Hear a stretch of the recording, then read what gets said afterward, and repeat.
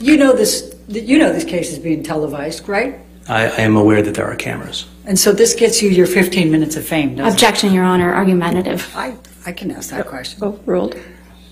Um, so I stand to gain nothing from this. I'm actually putting myself kind of in a target of TMZ, a very litigious uh, organization, and I'm not seeking any 15 minutes here. Though you may, you're welcome to speculate. I could say the same thing by taking Amber Heard as a client for you.